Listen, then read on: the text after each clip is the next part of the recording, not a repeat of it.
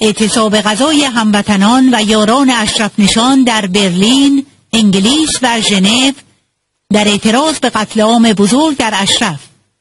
جنایت علیه بشریت به دست مالکی و به دستور خامنه ای فراخان عاجل به بازگرداندن گروگانها و استقرار نیروهای کلاهابی ملل متحد برای حفاظت از مجاهدان اشرف و لیبرتی.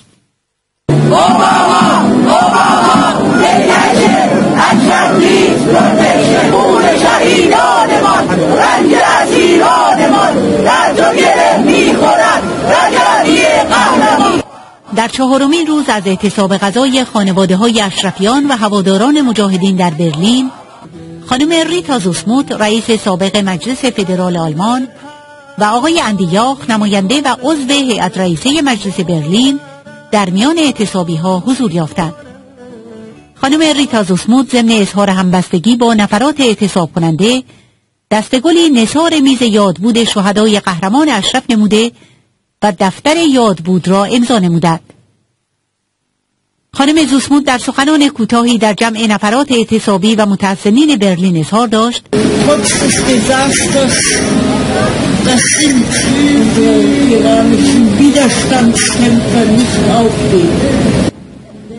این بسیار مختنم است که شما در اینجا گرده هم آمدید. علا رقم همه ضربات و مسائل رزمندگان مقاومت ایران تسلیم نمی شود. علا رقم انتظاری که می‌خواهند شما تسلیم شوید و ما تسلیم شویم این لحظه است که ما علا رقم تمام صفاکی ها خونریزی ها و قطع ها باید به یک چیز شفاف پاسخ دهیم. مقاومت شکسته نشده است و خواسته های انسان هایی را که به قتل رسیدند ما پیگیری می کنیم و از اینجا خواستار حفاظت بیدرنگ توسط یونامی و ایالات متحده آمریکا برای کسانی هستیم که در کمپ ساکن هستند. این موضوع فقط به ایالات متحده مربوط نیست بلکه به آلمان و به اتحادیه اروپا و به همه جهان مربوط است.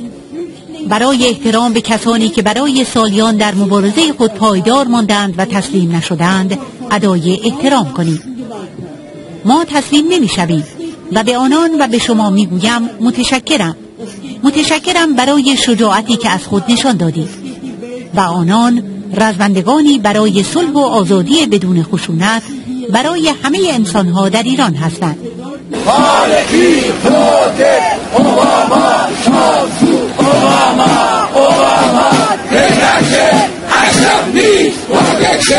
Liebe Freunde, ich begrüße euch ganz herzlich. Der Anlass ist traurig genug, dass wir uns hier versammeln müssen.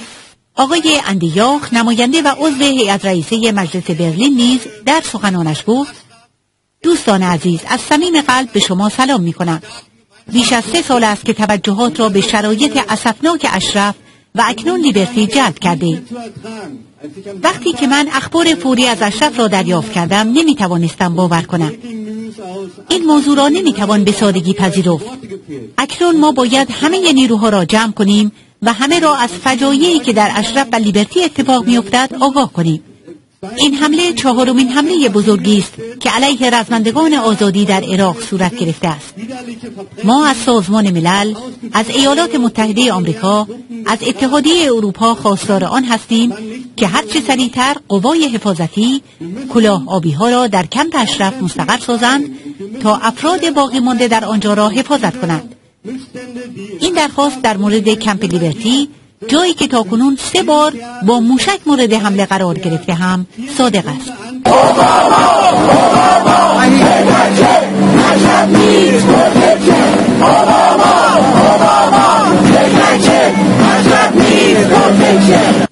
آقای جواد اسدیان شاعر نویسنده مبارز و رئیس سابق انجمن قلم در تبعید نیز ضمن اعلام حمایت از خواستای اعتصاب کنندگان و تاکید بر حمایت و پشتیبانی خود بیانیه همبستگی انجمن قلم در تبعید در محکومیت حمله به اشرف را قرائت نمود. انجمن قلم ایران در تبعید از همه نهادها و انجمنها و کانونهای دموکراتیک در جهان می‌خواهد که با گامهای مؤثر و روشن از جان و امنیت جانی ساکنان پایگاه های اشرف و لیبرتی پشتیبانی کنند. انجمن قلم ایران در تبعید دوم سپتامبر 2013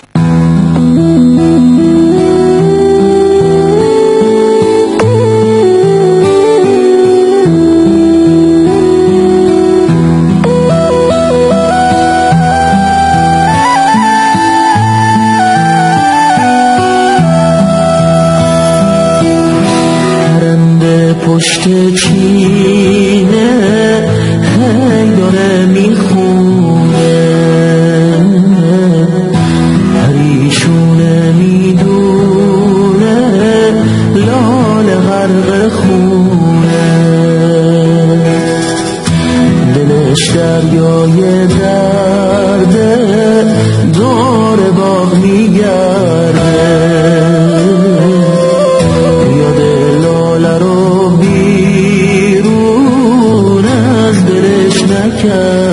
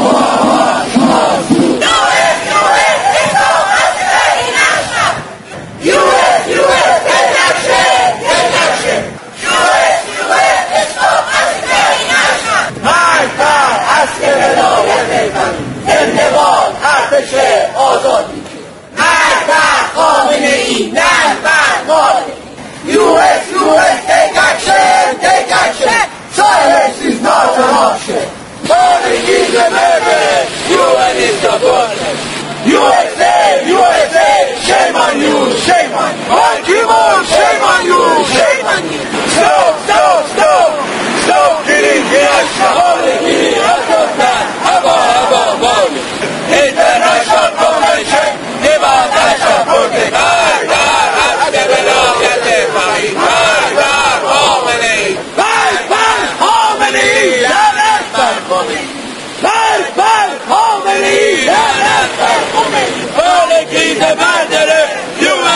border. USA, USA, shame on you, shame on you.